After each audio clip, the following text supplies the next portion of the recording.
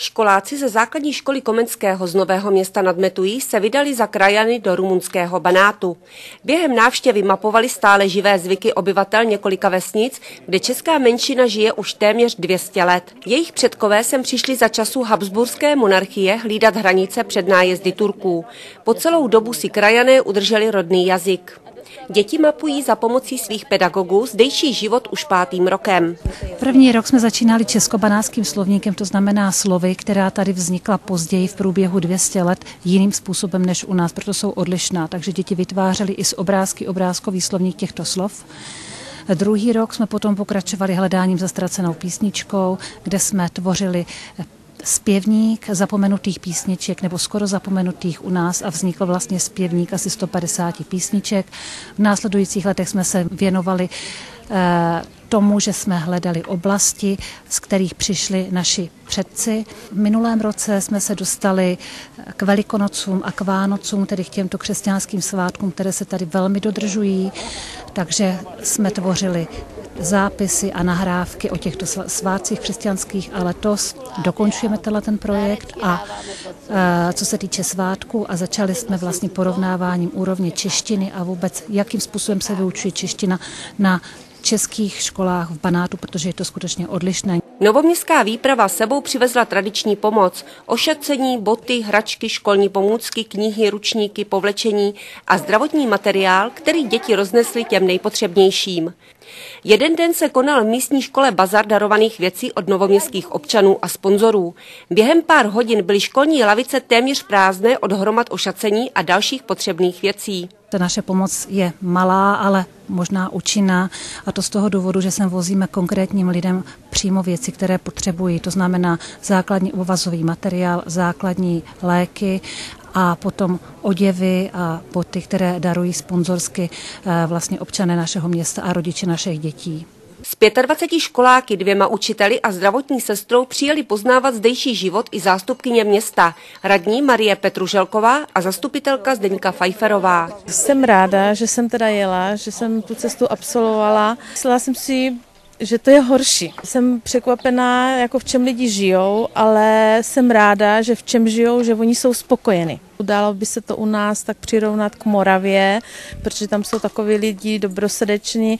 Nevím, jsem tady třetí den, tak třeba by se to pak zase poznalo jinak, jo? ale zatím jako první dojem jsou takový milí, přívětiví, jako rozdali by se Docela bych se jako ráda vrátila, protože myslím si, že už jsme si zase tady vytvořili i za ty tři dny takové jako kamarádské vztahy, takže si myslím, že bych se sem docela ráda někdy podívala.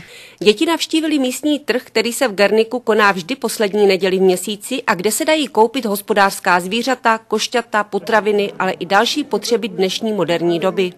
Tady prodáváme nějaký ty rohlíky, koláče s tvorochem a chlebík taky na tržišti tak co dělat? Jsou tady telata, salata. No, vybrala jsem jim dvě košile. Mm-hmm. Měl co trhat na pole. Já si zkrátkám rukávama. A když vážu oves a ječmen a pšenici, tak si udělám i šalopetu, víte, jak byly v horách. Tak to si uvážu a Telátka takhle, když máme, prodáme teda, no. Ono, některý trh prodáte něco, některý ne, no. Podle jak si to hledá. Zážitkem byla návštěva místního kostela při konání slavnostní svatodušní mše. Předposlední den se novoměstská expedice vypravila do další české vesnice Ajbentál, která je vzdálená od Gerniku asi 70 kilometrů po proudu Dunaje. Děti navštívili místní školu, místní hospodu u Medvěda a vypravili se k antracitovým dolům, kde se těžilo donedávna uhlí. Dnes už jako pozůstatek důlní činnosti je v zemi odkrytá díra několik set metrů hluboká. O víkendu přijel do Gerniku novoměstský starosta Petr Hable v doprovodu tajemníka Petra Tyče, aby podepsal partnerskou smlouvu mezi Novým městem Nadmetují a obcí Gernik. Ten vztah mezi Novým městem a Gerníkem se vyvíjel hlavně přes dětí, které sem jezdili a postupně se ty vztahy vytvářely a smlouva vlastně ten podnět ke smlouvě vznikl hlavně tím, že město nebo obec Gerník potřebuje získat evropské finance a partnerství může pomoci k tomu. Curând caz am semnat acest protocol foloasele și beneficiile sunt pentru comunitate. Jsme rádi, že se podepsal tento protokol. Jak víme, tak spolupráce funguje už pár roků a doufáme, že z toho budeme mít prospěch. Gerničané by nejvíc potřebovali lepší přístupové cesty. Dnes se do obce vysoko v horách jezdí po lesní nespevněné cestě. Jen místy je pozůstatek někdejšího asfaltu. My můžeme pomoci tím, že, že budeme propagovat toto území v České republice a hlavně ale turistický ruch, ten rozumný, mírný, pěší, protože víme, že sem jezdí spousta mladých lidí a jezdí tady na motorkách, na čtyřkolkách, což obci nepomáhá, ale myslím si, že je to nádherný kraj, malebná krajina, která by se určitě líbila pěším turistům. Na oplátku by už po druhé měli přijet do Nového města nad Metují gernické děti. Naše děti moc, moc necestují a tím, že jsme se šli podívat k vám, tak to byla taková velká výhoda. No. A samozřejmě, i když přijdete vy sem, tak se, se vymění názory, děti se poznají a tak trochu mají kontakt se světem, aby viděli, jak to vypadá jinde. No. Vidíme, že ty děti začaly psát více pravopisně, používají český výrazy, to, to, co to před deseti lety tady nebylo.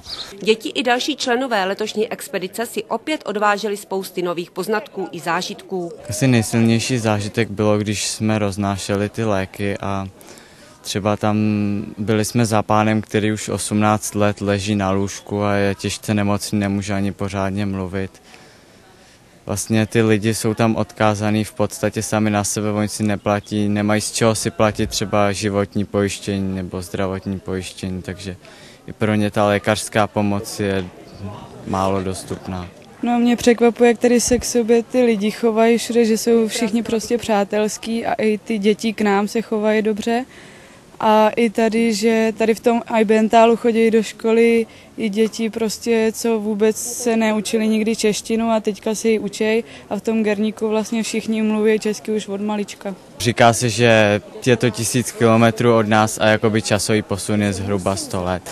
Určitě tam krásná příroda, ale mě třeba i překvapilo, jak mm, když se jede do Gerníku, tak podél cesty, kolik je tam odpadků, a tak to přijím takový smutný. Nevím, jestli to dělají místní obyvatel, nebo jestli za to můžou už turisti. Já jsem v Čechách narozený, tam své předky mám.